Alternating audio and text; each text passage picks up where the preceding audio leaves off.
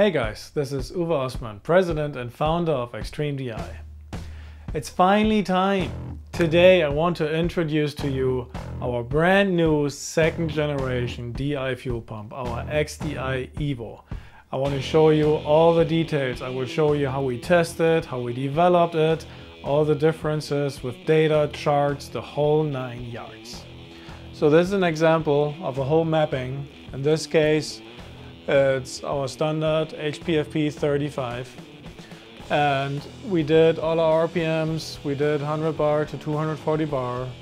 And you see how the output in liters per hour increases with RPM, but it also decreases with pressure. So what that means is the higher pressure you run, the lower the output gets. And that's uh, an efficiency problem. So you just have to consider a high pressure fuel pump like an engine.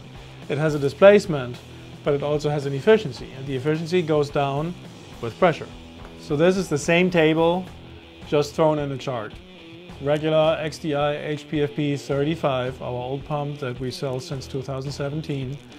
And what you can see at the x-axis down here, you see the pressure.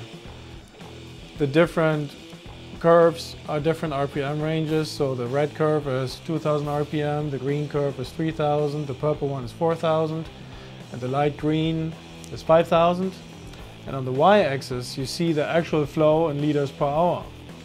So what this chart tells you is that over pressure, the higher pressure you run, the less it flows. And that's normal for every DI pump. What our old pump did is that above 190 bar, 200 bar, it loses quite a bit. So that's why we kept saying 200 bar max, but better just 180. So this pump we have been selling since 2017. It's a great pump. We have broken multiple records and so far people were running it up to 200 bar. But we're not resting there, we're trying to improve it. So we started looking at this area here where we go all the way to 240 bar, which hasn't been done before.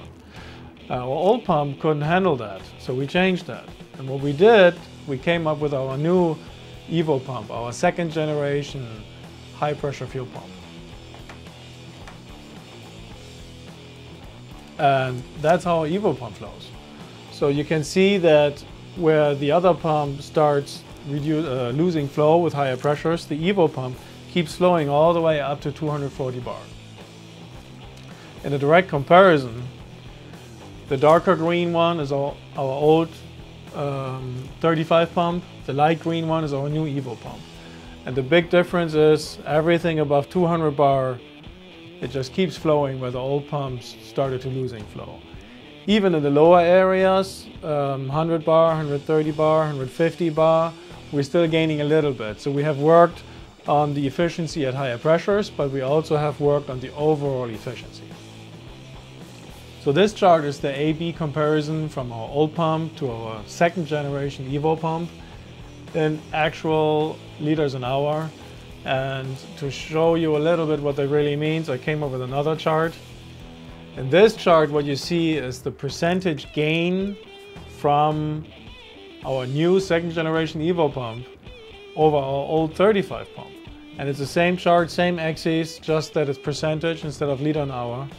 And what you see is that the Evo pump on top of our first generation 35 pump all the way up to 180 bar gains around 5-6% in flow but above 180 bar going up to 240 bar we gain another 40% on top of what our 35 pump already gained over every production pump.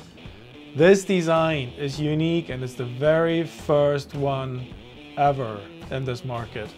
The technology behind it is patent pending and we're going to roll this out to all our standard pumps, all our engines.